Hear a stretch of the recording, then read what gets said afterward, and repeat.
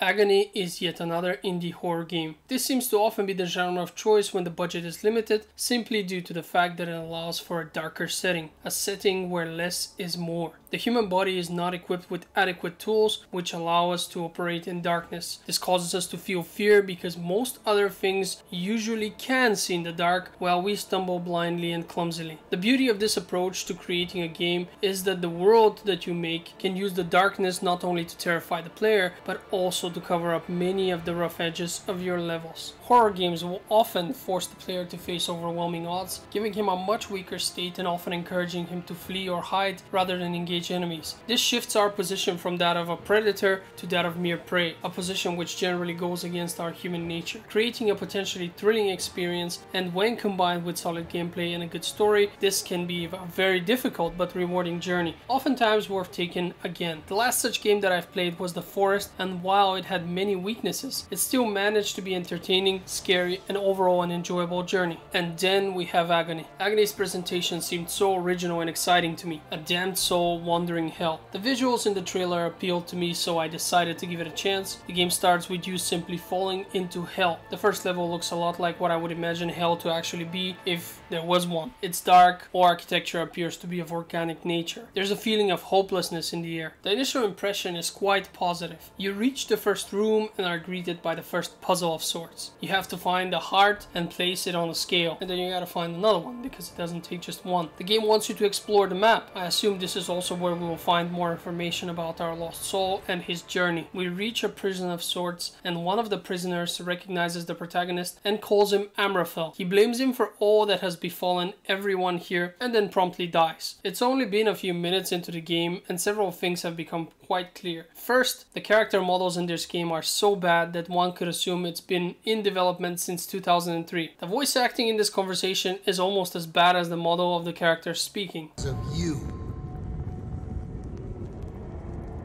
I should have killed you when I had the first chance. My whole family died. My family. My family. I no longer remember. But you, you, I won't forget. You're gonna fry here. Give it to me, you son of the whore. What the fuck? No! No! I curse you, Amraphel! Ah!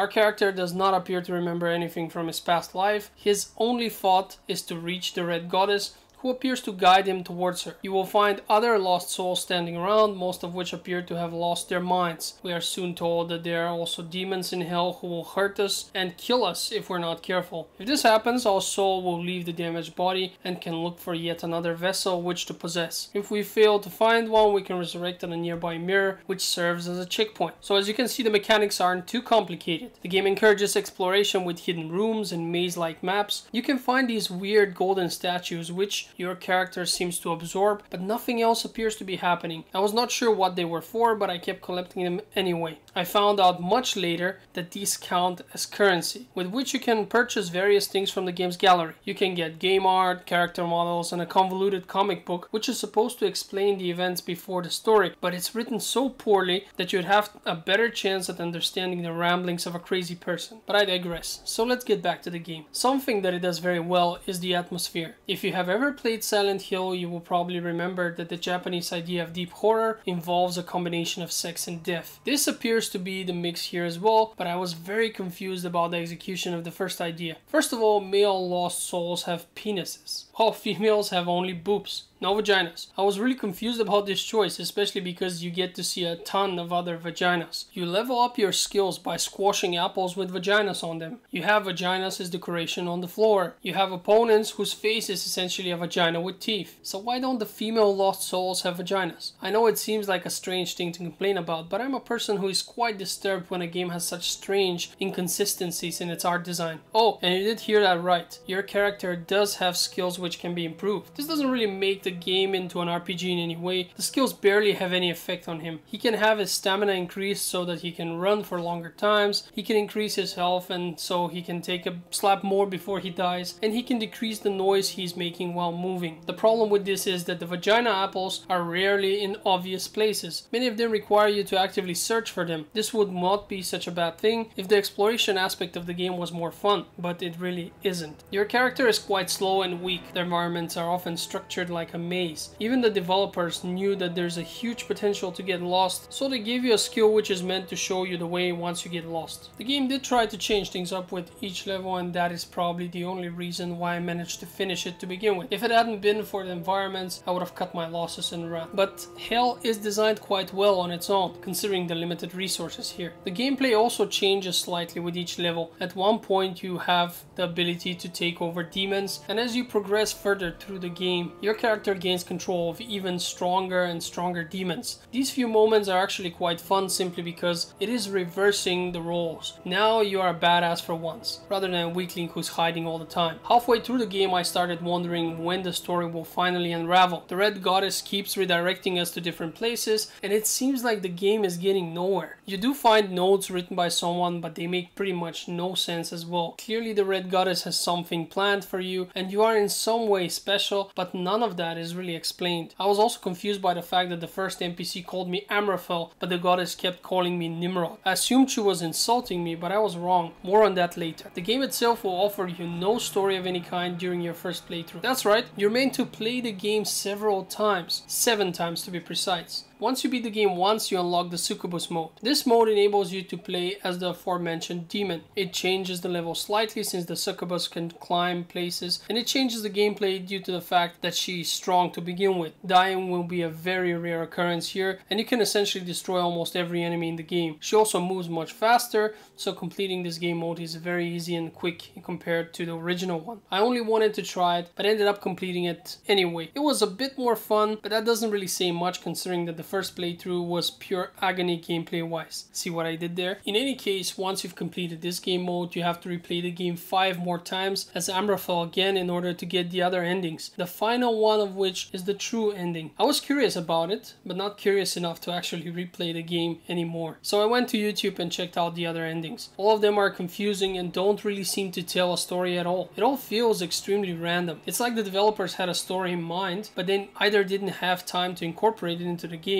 or simply super drunk during the whole development process. In any case, there is no story here and that really sucks because there is also barely any gameplay to begin with. The puzzles are boring and don't really require any thought. It's just go around, find an item and come back and place it here or go around, scan a symbol or a painting and then paint the symbol over here. Everything else is just walk from A to B and try not to get killed by some of the other demons. It's boring and monotonous. A game should have a story and a story would really have helped here. Let me remind you of the game Soma. The game's gameplay was pretty bad too, but the story was engaging and motivated the player to push on. It had great voice acting as well, something that this game clearly lacks. Agony overall pretends like there is a story and dangles it in front of the player like a carrot on a stick, hoping that he will reach the end of the game and forget what he was looking for by then. The comics, the notes, the paintings, the multiple endings, everything looks like pieces of the story that are all there and you just need to piece it together, but there really isn't any story here. This felt wrong to me. You know how in Dark Souls you kind of have a story, but it's not really told in a meaningful way, but rather spread out in item descriptions and other such nonsense. It's left for the player to find and mostly fill in the gaps. Some people apparently enjoy this. They spend years filling in the gaps and stitching together what is supposed to be a complex lore. I find that lazy and a good example of very bad storytelling. Agony is lazier than that. You see, I actually sat down and researched the name of the character. Remember when I told you that one guy calls him Amraphel, but the red goddess calls him Nimrod? Well, both are his name. The story of Nimrod is a biblical story. If you read it and then look at the final ending of the game, you will be able to make a few very vague conclusions. I won't name mine here because I don't want to spoil the game for the very few of you who actually want to attempt to figure out the story on their own. I'm also not sharing this because I'm one, well, I'm not really 100% sure that my assumptions are correct. It is also vague that it's very possible possible for me to have drawn conclusions which are absolutely wrong. If someone does want to discuss it with me, feel free to leave a comment and I will reply with my own conclusion there. And this should also double as a comment section spoiler warning. So, you know, if you're reading the comment section and,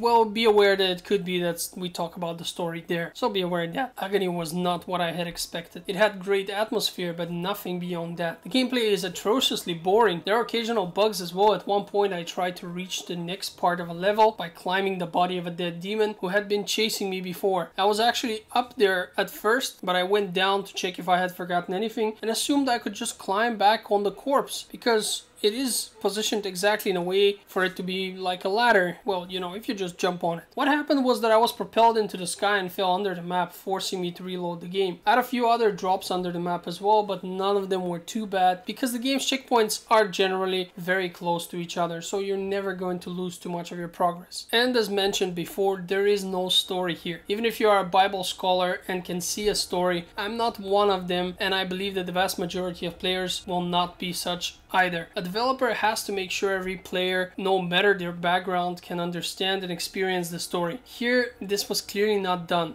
not done at all. There are very few people who will be able to enjoy this game. So if you've seen the footage and you've heard what I had to say so far, and you still think that it's worth a shot, more power to you, go ahead and give it a try. But for the rest of you guys, I think it'd be safe for you to stay away from this game and not waste your money on it. I'm all about supporting new developers, but there are no redeeming qualities here overall. My advice is to only use this game as a bad joke on a friend. Find someone you don't like that much and give them a, this game perhaps as a gift. Then keep asking if they have reached the part where the story really kicks in and the game suddenly becomes super interesting. And of course your friend will never reach that part because there is no such part. This is how you could make a joke out of it. At least that way you'll get some entertainment from this game, but at the expense of your friend who you don't seem to like that much anyway, so I guess that's okay. This is where I want to thank you for watching my video. I hope it was at least somewhat entertaining. I like to believe that I've played this game twice so that you don't have to play it at all. In any case, I'd be very happy if you took a look at my other videos. And again, thank you for watching